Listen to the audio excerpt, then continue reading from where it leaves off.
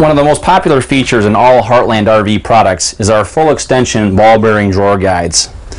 You'll see here that our drawer guides fully extend, whereas the competition might stop here.